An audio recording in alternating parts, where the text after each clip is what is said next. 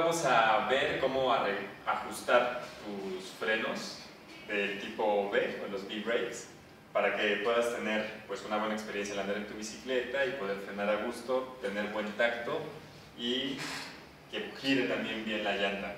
Entonces lo primero que vamos a hacer es utilizar una llave Allen de 5 milímetros y es toda la herramienta que vamos a ocupar hoy. Con la llave de 5 milímetros vamos aflojar por completo el tornillo y lo vamos a dejar así, que se abra.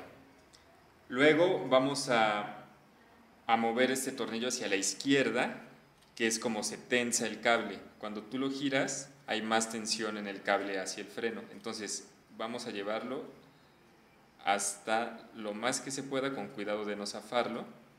Ahí está bien. Y después vamos a regresar a juntar las horquillas de los frenos y apretar nuevamente el tornillo al. Con una mano juntar las horquillas que son estas hasta que tope con el rim. Hay que verificar que las pastillas o las zapatas de freno estén rectas, que, pisen bien todo, toda la pared del rim. Si no pueden eh, irse desgastando de forma diferente y entonces van a escuchar ruidos, ¿no? Como ese aullido que suena cuando frenan es porque están desniveladas. Entonces, lo pones bien en la pared, jalas el cable y aprietas otra vez el tornillo.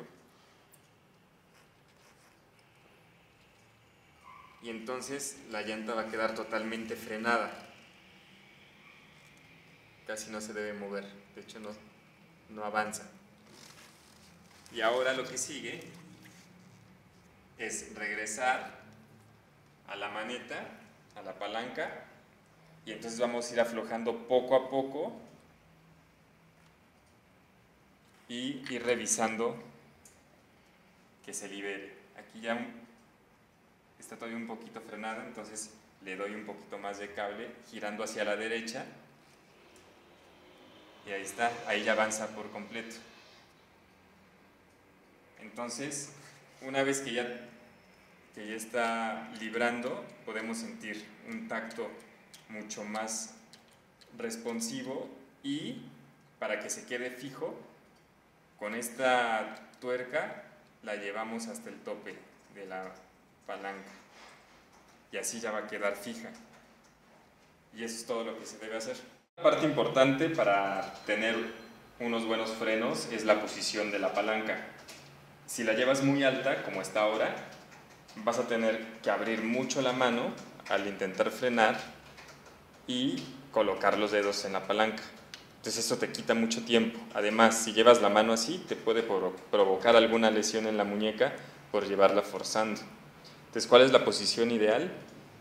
El ángulo natural de tus dedos al abrir. Debes, o si tienes el puño cerrado, alinearlo a la articulación de tus falanges. Entonces, con el puño cerrado, vamos con la otra mano aflojar la palanca de freno, casi siempre también es una llave de 5 milímetros,